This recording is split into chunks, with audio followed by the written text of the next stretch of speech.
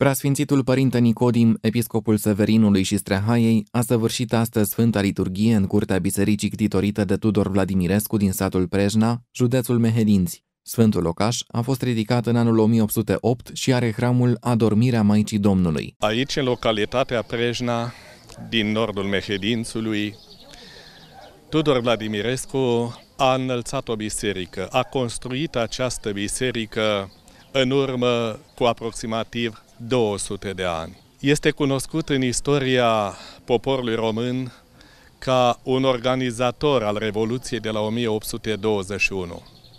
Este mai puțin cunoscut ca cel care a fost ctitorul bisericii de la Prejna împreună cu cel care i-a fost alături, Gheorghe Duncea, unul dintre boierii cunoscuți ai acestor frumoase plaiuri. După Sfânta Liturghie a fost săvârșită slujba parastasului pentru Tudor Vladimirescu, la 197 de ani de la Revoluția acestuia. El este legat în chip deosebit de meleagurile mehedințene pentru că avea rude în neamul dunceștilor din Prejna. El a fost ucis în ziua de 27 mai 1821.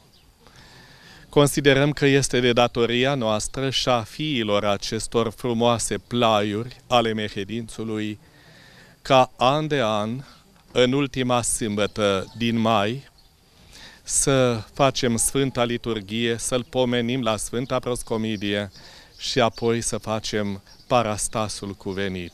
Este ctitorul bisericii noastre din satul Prejna, de fapt singura biserică pe care o avem și este deschisă cultului de mai bine de 200 de ani. Este o datorie a noastră să-l pomenim în fiecare an, deoarece în data de 26 spre 27 uh, a fost asasinat și este o datorie pentru noi să-i facem slujba parastasului, slujba de pomenire în fiecare an. Interpreta de muzică populară Angelica Stoican, fica acestor meleaguri, a cântat balada lui Tudor Vladimirescu. Pe